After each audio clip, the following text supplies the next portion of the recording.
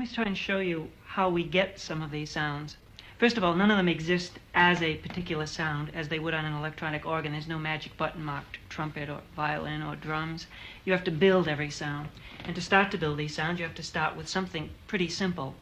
And here are the simple things we start with. There are five of them. The simplest one of all is something that any lab technician must have seen at one time or another. It's called a sine wave. It's very smooth, very flute-like. A little bit more complicated wave is called sawtooth. And it's called sawtooth because on an oscilloscope, oscilloscope screen it looks just like a sawtooth. And uh, this one is a little richer, a little reedier, and it resembles a lot of sounds found on home electronic organs. Something in between those last two, and a very useful sound indeed, is something called triangular, and it's kind of a pointed sine wave.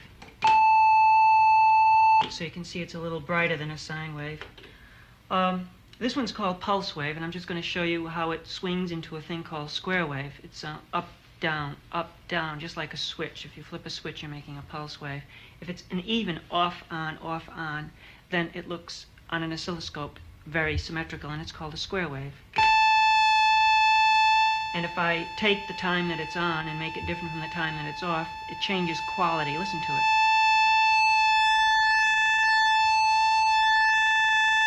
Shifts interior. It's a very useful sound.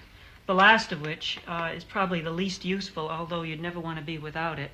It's very colorful, very coloristic. In its pure form, it sounds like surf or a steam sound. It's called white noise. Now I'll patch this up here into one of my output modules and um, try and show you how with these primitive sounds we start to get some very musical sounding things.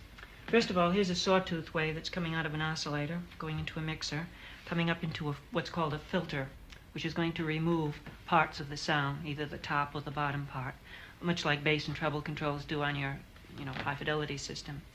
And uh, by hitting a note on the keyboard now, I'm connected up so I'll hear that one sound. It's a very low sound. It's very bright. If I manually turn this knob, you'll listen to the sound get considerably duller. Here it gets very dull down here. Instead of doing this manually, I can do it automatically with what's called an envelope generator. It generates the envelope, the envelope being this type of motion that I'm shaping the tone with. So I'll do it this way.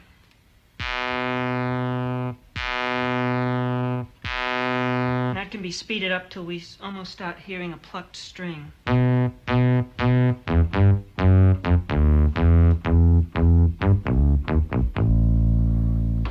We turn that around and make it uh, open up instead of closing, does this, which was quite a surprise when I first heard it.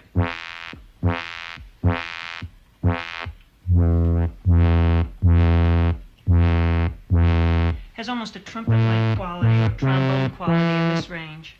And uh, I think the best way to show this is a little excerpt from the first album.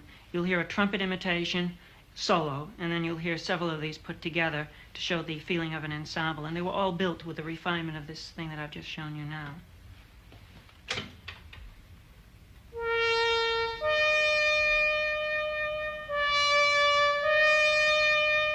Now the ensemble.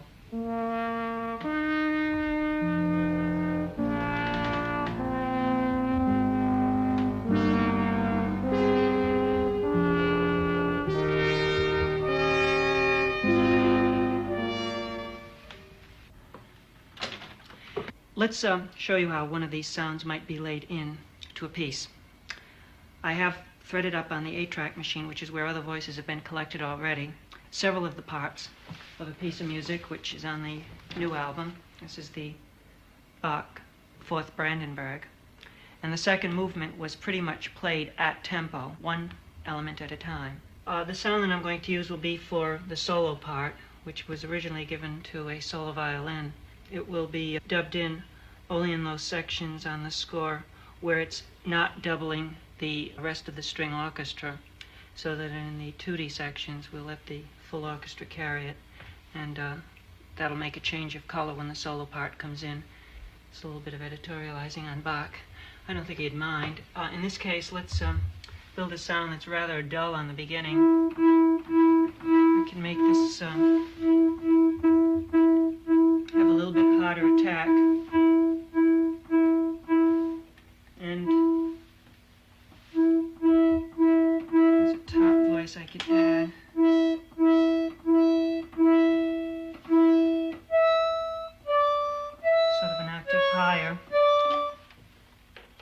some vibrato. Tone it down. The vibrato comes in a little after the note sounds. Delay this note a little bit longer. And by patching in another envelope controller, which will now take the oscillator that's supplying the tremolo and speed it up th- during the duration of the sound, the vibrato will start slow and get quicker.